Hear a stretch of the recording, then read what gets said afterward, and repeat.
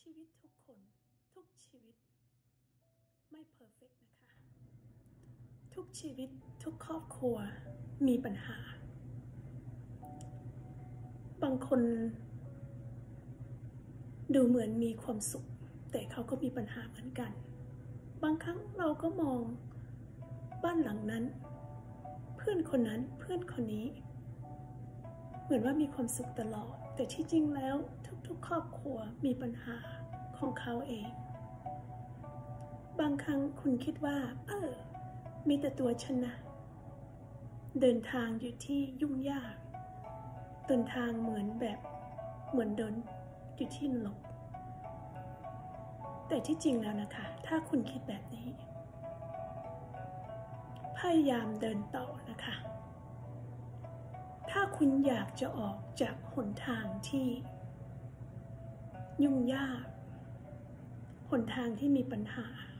หนทางเหมือนแบบเดินอยู่ที่นรก พยายามเดินต่อ เดินพยายามออกไปมุ่งหน้าออกไป แล้ววันหนึ่ง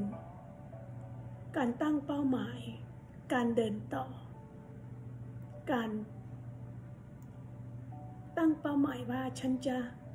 เดินทางออกจากความยุ่งยากของฉันให้ได้ แล้วมันจะเป็นจริงนะคะ เพราะว่าทุกสิ่งทุกอย่างมันไม่ได้อยู่คำฟ้า ถึงว่าคุณจะเดินอยู่ ทางที่ยุ่งยาก หนทางที่มีปัญหา หนทางเหมือนนรก วันหนึ่งมันก็จะสุดสิ้นของมันเอง คุณต้องตั้งเป้าหมายและตั้งจิต ให้ได้ว่า ฉันจะบีสิ่งนี้ให้ได้ ฉันจะพยายามเอาชนะให้ได้ แล้ววันหนึ่งคุณก็จะทำทำได้และจะชนะได้ ไม่มีอะไรที่คุณทำไม่ได้ ถึงแม้ว่าคุณจะตกยากลำบาก เดินหนทางที่ยุ่งยาก หรือว่ามีความทุกข์เศร้าใจ หรือเหมือนเดินอยู่ที่นรกถ้าคุณตั้งจิต เป้าหมาย พยายามเดินมุ่งออกไป แล้วคุณจะชนะสิ่งนั้น ทุกสิ่งทุกอย่างคุณทำได้ มันอยู่ที่การตั้งจิต และอยู่ที่หัวใจของคุณ คุณไม่ท้อและพยายามมุ่งหน้าต่อไปให้ได้ การทำสิ่งนี้